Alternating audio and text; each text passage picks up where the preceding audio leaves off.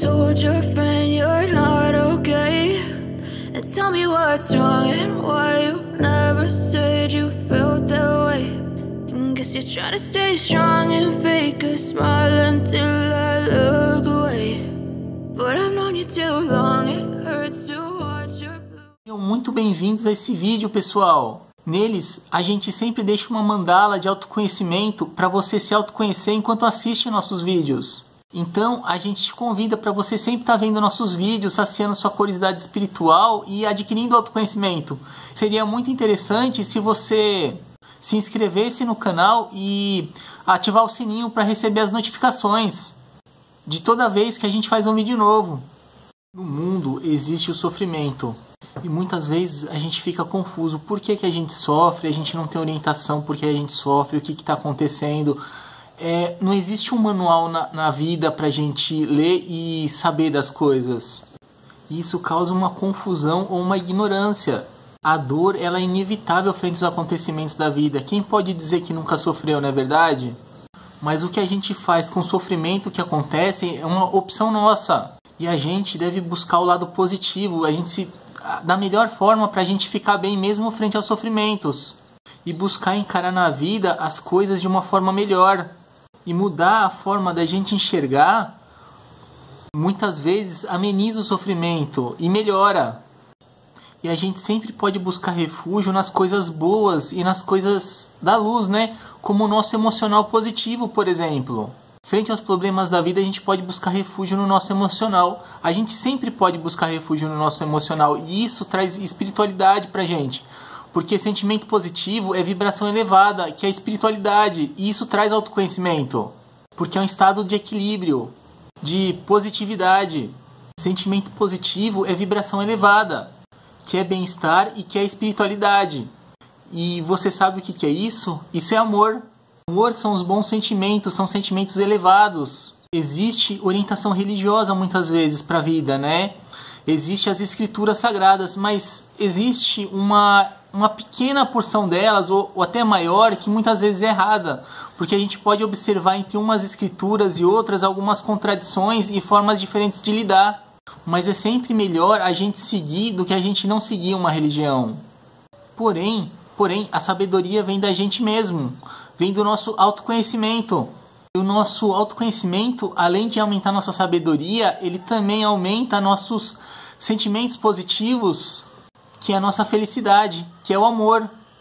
Então é importante a gente olhar para a gente mesmo. A gente não precisa ir para uma montanha e meditar o dia inteiro, porque isso também a gente está ajudando quem fazendo isso, né? E o amor é o que? É a gente se, se voltar para o outro, né? E quando a pessoa está na montanha meditando, ela está se voltando para si mesma, sofrendo uma série de problemas, de escassez e de sofrimentos também melhor que meditar na montanha é a gente se ligar nos nossos sentimentos positivos para melhorar a nossa vida. Isso sim é uma coisa elevada, boa e a espiritualidade. A vida física não entra em conflito com a vida espiritual. Na vida física a gente tem desafios e problemas para enfrentar. E na vida espiritual a gente tem a fé e os sentimentos que servem também para melhorar a nossa vida e para ajudar a gente a lidar com os problemas e com os desafios. E a forma de lidar com isso é a gente obter o autoconhecimento.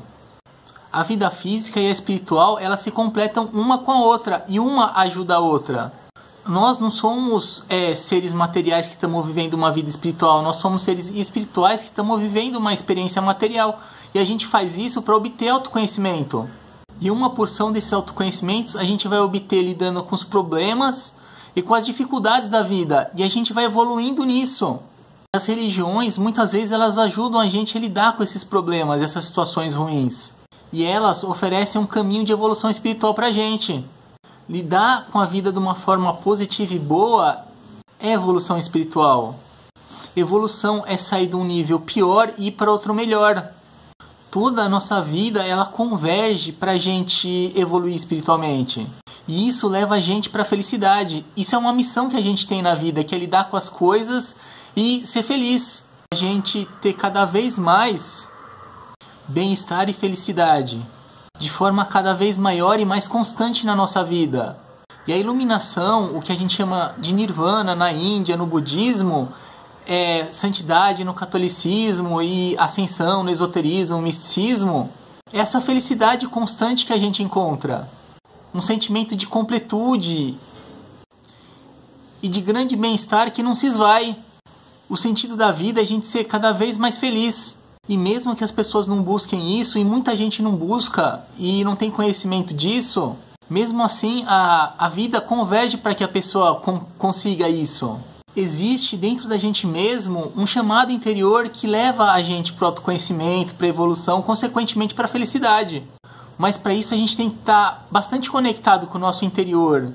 E a gente pode sentir um sentido nisso, em buscar isso.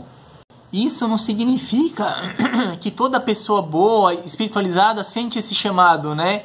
Mas muitas vezes acontecimentos na vida faz com que a pessoa vá em direção a isso, né? Seja os problemas que ela vive ou o conhecimento de que isso vai trazer uma felicidade para ela, que vai ser uma coisa muito boa para ela. Mas muitas pessoas boas não buscam isso, mas a muitas pessoas boas buscam, mas pessoas ruins não buscam isso porque elas não têm contato com o interior delas. E essa busca é uma busca espiritual. E a gente querer compreender a nossa vida, querer compreender os porquês da nossa vida, por que, que não deu certo certas coisas, certos relacionamentos, por que, que aconteceu muita coisa na nossa vida. Isso é uma curiosidade que leva a gente para o autoconhecimento.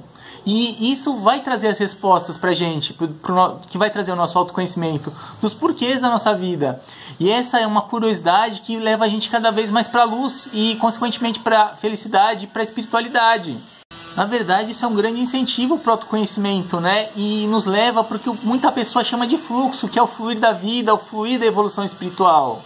Então, a gente tem uma missão de viver a vida e de se autoconhecer, entre muitas outras coisas que vão contribuir com as outras pessoas, coisas que fazem sentido para a gente fazer, que a gente vê importância, resultado que a gente se sente motivado a fazer. A não ser que alguém é, nos faça perder essa motivação ou faça a gente pensar que isso não é importante, quando na verdade é uma coisa importante e é importante mesmo porque é uma coisa que Deus e o plano espiritual confi confiaram na gente para a gente realizar. O manual da vida é o autoconhecimento e é o que traz as respostas para a vida e traz a sabedoria. A gente, na verdade, não é o que a gente faz. A gente, na verdade, a gente é essência minha profissão, o que eu faço fazendo vídeos não é o que eu sou, eu sou o que eu sou no meu mais no meu eu íntimo, né? Porque cada pessoa tem um tipo de trabalho que ela faz. E isso não define a essência dela. O que define a essência dela é, é, é, a intimidade dela. E são nossos desejos, nossas vontades, nossas emoções, nossos pensamentos e nossas ações que são regidas pela nossa alma, né? É o que é a manifestação da nossa alma, é o que nossa alma faz. E a emoção, o desejo, o pensamento e a vontade, elas nos impelem a agir. E nossas ações são boas ou causam sofrimento para os outros? Ou são neutras?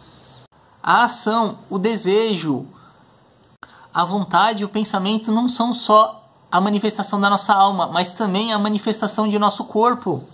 Nosso corpo tem fome e precisa comer, mas a alma não. Nosso corpo precisa descansar e dormir, mas a alma não. Tanto que quando a gente dorme, nossa alma é, se desprende do corpo e vai ter vivências.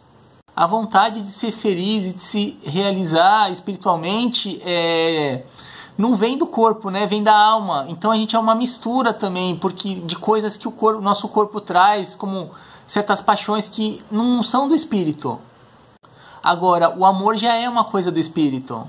E evolução espiritual é o progresso da nossa alma, é o autoconhecimento. E evolução é melhorar. E a evolução melhora nossos pensamentos, nossas emoções, sentimentos, vontades e desejos. Porque são manifestações da nossa alma. E nossa alma melhora com a evolução. Então a gente fica mais felizes, com pensamentos melhores. É sempre importante a gente evoluir Quanto a gente faz isso, tudo se torna mais positivo, então nossa vibração melhora. Tudo se torna mais feliz, mas os acontecimentos da vida, eles muitas vezes podem prejudicar essa felicidade também, como problemas, dores, sofrimentos, é, frustrações. Tudo isso tende a, trazer estados é, mentais negativos, enquanto a espiritualidade traz positivos. E muitas vezes o negativo é maior e outras vezes o positivo é maior. nós geralmente tendemos a dar mais atenção às coisas ruins e negativas, quando na verdade a gente é mais feliz se a gente der atenção às positivas. Uma coisa melhora a nossa vibração e outra coisa piora. O autoconhecimento ele melhora isso na gente. É a busca pelo positivo, pelo que é bom. E assim a gente pode dizer que o bem e a felicidade eles caminham de mãos, de mãos dadas, de mãos juntas. E o que de melhor a gente pode trazer para essa vida é a gente fazer ela ser feliz. É aí que vale a pena viver e a gente vive melhor quando a gente é feliz.